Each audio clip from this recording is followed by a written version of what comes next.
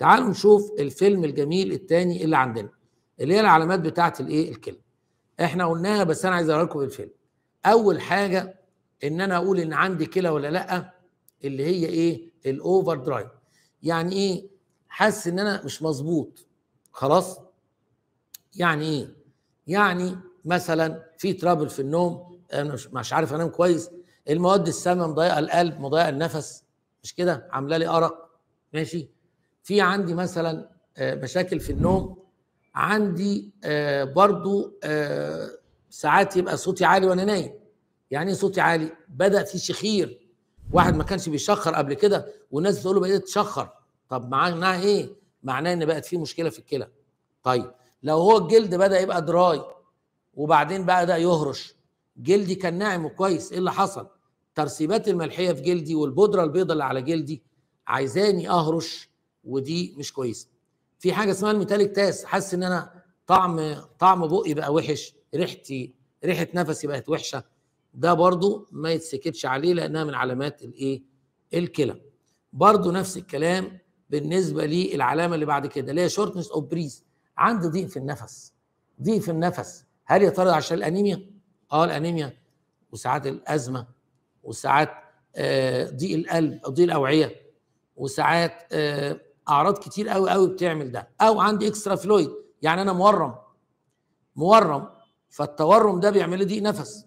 تورم الرئة تورم الغشاء البلوري مثلا إيه اللي متورم عندي؟ وساعات يبقى عندي رغبة في الترجيع. فالرغبة في الترجيع دي بتبقى دليل على إن أنا عندي مشكلة في الكلى. طيب إيه تاني؟ عندي بابلز موجودة في البول يعني عندي رغاوي. اوعى تسكت على الرغاوي بتاعت البول. طيب تعالوا نشوف حاجة جميلة جدا. يا ترى إيه المشاكل اللي بتحصل في الجلد وتقول كده إن أنت داخل على مشكلة؟ أول حاجة الهرش. طيب بدأت تهرش يبقى ده سكر أو كلى أو كبد أو أو. اوعى تسكت. طيب لو بدأت تبقى في سكراتش مارك وعندك كده علامات بتاعة الهرش برضو ما تسكتش لازم تروح تبحث. يا ترى دي كلى ولا كبد ولا سكر ولا أملاح ولا ده أثر ده ولا باخده ولا إيه؟ طيب عندي في ال colour changes مثلا جلدي بقى شاحب بقى لونه غامق بدأت تظهر فيه حبوب الحبوب دي بقت تتغير لونها اللون بقى يغمق. إيه ده؟ إيه الترسيبات دي كلها؟ لازم تكشف بسرعة وتشوف إيه اللي حصل. بص لضوافرك ضوافرك هل يا ترى ضوافرك دي طبيعية؟ ده الصوابع طبيعية؟ ولا بدأت تبيض؟ ولا بدأت تبقى clubbing عاملة زي ما تكون كده parrot beak؟ يعني عاملة زي منقار البغبغان؟ طيب swelling في أي كلاكيع في جسمك أو تورم رجلك مورمة؟ ها؟ في ورم في عينك؟ في rash في رشح؟ خلي بالك دي علامات. ده كان عنوان حلقتنا النهارده. الحق نفسك واعرف إزاي تشخص صح بسرعة فما تسكتش على حاجة. يعني ناس عندنا بيجيني العيادة تقعد تهرش في ظهرها تهر بنات بنات تهرش تهرش تهرش لغاية لما ظهرها كله يبقى حبوب. بعد كده هي مخطوبة وعايزة تتجوز عايزة في شهر واحد تعالج الظهر بقى لها سبع سنين بتهرش وجاية عايزة تعالج في شهر. خلي بالك إيه اللي خلاك تقعدي ده كله؟ يعني إيه اللي خلاك تقعد تهرش ده كله؟ في ناس بتقعد تهرش في المناطق الحساسة تحت الإبط ما بين الرجلين لغاية ما الدنيا تسود وتتنيل وبعد كده يجي يقول لك أنا عايزة عايزه اتعالج. نفس الكلام لو حصل عندي lump مثلا أو حاجة كده كلكيعة. الكلكيعة دي دهن ولا حتة متليفة ولا خراج ولا إيه بالظبط؟ ما تسكتش. حتة متكلكعة تحت الجلد هي إيه؟ طيب إيه تاني؟ عندي ال calcium deposits ال calcium deposit دي بقى مشكلة. مشكلة كبيرة ليه؟ لأن في ناس بتجيلي عندها حتت كده يقول لك ده حتت عظم مترسبة تحت الجلد بين الصوابع صوابع الرجل الكبيرة ساعات بتنزل tophi بتنزل سائل أبيض سائل أبيض. وساعات بتبقى في الودن في الودن. وساعات تبقى أقول لك على حاجة ال calcium deposits دي ساعات بتبقى في الثدي ساعات تبقى minerals وتترسب في في المرارة تترسب في الكلى في الحالب تترسب في الرجلين من تحت ساعات بترسب على العظم وتعمل شوكه عظميه كل ده بنقول عليه اوعى تنساه.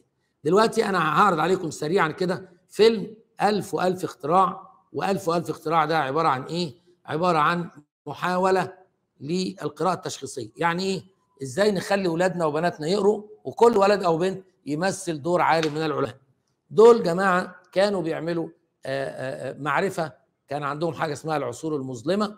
العصور المظلمة في أوروبا من أول 220 فيثاغورس قبل الميلاد لغاية 1440 وحاجة اللي هو اكتشاف جوتنبرج بيعتبروا ال 1600 سنة 16 قرن. 16 قرن 1600 سنة بيعتبروهم القرون. لكن ده ظلم لأن كانت أظلمت في أوروبا وأشرقت في أرض العرب. فلازم تشوف لما أشرقت في أرض العرب عملوا إيه العرب دول؟ فين علماء العرب؟ واحد يقول لك النهارده وصلنا للمعرفة والطيارة بدون طيار و نقول عليها الإيه؟ التكنيكات الجديدة و... أيوه بس دول العلماء الأساسيين. العلماء الأساسيين لازم نعرف عملوا إيه. لازم نعرف عملوا إيه. فهم الاولاد دول قالوا في فيلم جميل قوي تعالوا نطلع المكتبة تعالوا ندور على علماء العرب. الراجل بتاع المكتبة جاب لهم مرجع عن علماء العرب وقال لهم بصوا كده يا أولاد بصوا كده مفيش قرون مظلمة. القرون المظلمة اللي في أوروبا كانت منورة عند العرب. بصوا كده هيوروهم حاجات جميلة قوي قوي. وده الخيال اللي إحنا عاوزين نعلمنا في المدارس. أهو أول حاجة في العصور المظلمة اللي كانت عند بقت عصور منورة عند العرب. الجرزي مثلا أو الجزري. الجزري دون الراجل اللي عمل اختراعات جميلة جدا وهوريكم الاختراعات اللي عملها دلوقتي الجزري. مثلا الحضارة اللي قعدت ألف سنة ألف سنة من أول 570 ميلادية مولد النبي محمد لغاية 1500 ميلادية خلاص دول ألف سنة ألف سنة ساد فيها العلماء المسلمون. وبعدين أوروبا خدت هذه الاكتشافات وطورتها وعملت الحضارة بتاعتها. يعني إذا كانت الكرة الأرضية لها نصفان الشمس في اتجاه يبقى نهار والاتجاه الثاني يبقى ليل. وبعدين تتدور الأرض الليل يبقى نهار والنهار يبقى ليل. بص الراجل ده بيقول لك أنا العلماء أنا العالم أنت مين حضرتك؟ ابن الهيثم. ماذا فعل ابن الهيثم؟ بص الجمال ابن الهيثم هو اللي أدى إلى صناعة الكاميرا درس العين واخترع الكاميرا. طب الكاميرا دلوقتي ده إحنا بنصور بكام كاميرا؟ واحد اثنين ثلاثة شوف معانا كام كاميرا بنصور بيها. لكن اختراع ابن الهيثم للكاميرا هو ده اللي بدأ يعرف يعني إيه كاميرا. الكاميرا بتاعت السينما الكاميرا بتاعت التلفزيون الكاميرا بتاعت اللي بنصور بيها دلوقتي لحضراتكم. كل دي من فكر ابن الهيثم. تعالوا نشوف مثلا عالم آخر عالم آخر من العلماء. واحد تاني من العلماء مثلا بص كده الراجل ده بيقول إيه اسمه إيه؟ اسمه عباس بن فرناس. عباس بن فرناس ده كان يعد نفسه ليحلق في السماء. عباس بن فرناس عمل تجارب كتير جدا عشان يطير وكانت البشرى قبل طيران الأخوين رايت بألف سنة. عباس بن فرناس عمل أجنحة وكذا وكذا خلاص وقال إن الإنسان هيطير وهيطير في الفضاء خلاص. عباس بن فرناس أول من بشر البشرية بإن هم هيطيروا في الفضاء. ده عباس بن فرناس. طيب مين تاني؟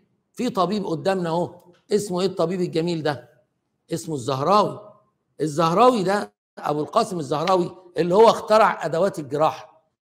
اللي لسه بنستعملها في أدوات الجراحة لغاية دلوقتي. الزهراوي عمل أدوات الجراحة المشارط والأدوات والملقاط كل دي أدوات الجراحة اللي عملها الزهراوي وتظل تستعمل بقالها أكتر من ألف سنة عشان الزهراوي. المشرط والمقص والملقاط كل دي. حتى إنه جاب أحشاء القطة الكات جت ونشفها وعمل منها خيوط الجراحة. تستعمل حتى الآن كات جت يعني خيوط الجراحة اللي عملها الزهراوي تستعمل حتى الآن. كل ده عمله. طيب في واحدة اسمها مريم الأسترلابي عملت لنا الأسترلاب. مريم الأسترلابي دي صنعت الأسترلاب حاجة كده قريبة من تحديد الوقت والزمن والوضع وحاجه جميلة قوي قوي قوي إزاي؟ إزاي؟ قالت إن كل الأجساد تقريبا متشابهة في المسطح عشان نقوم بالحساب وتحديد الأماكن عاملة حسابات معينة عشان تدينا استرلاب بعد كده اتطور منه إيه؟ البوصلة بتاعة البحر والبوصلة في سجادة الصلاة ويوري لك ها؟ والأقمار الصناعية. يعني ال- الاختراعات الأولى تدوم. واحد يقول لي أنا اخترعت إن المية تميل على أن تكون في سطح ثابت. تميل يمين تميل شمال سطح ثابت. ده عملوا هنا ميزان اسمه ميزان المية. ميزان مية. انتقلت الحضارة إلى أوروبا بنوا عليها.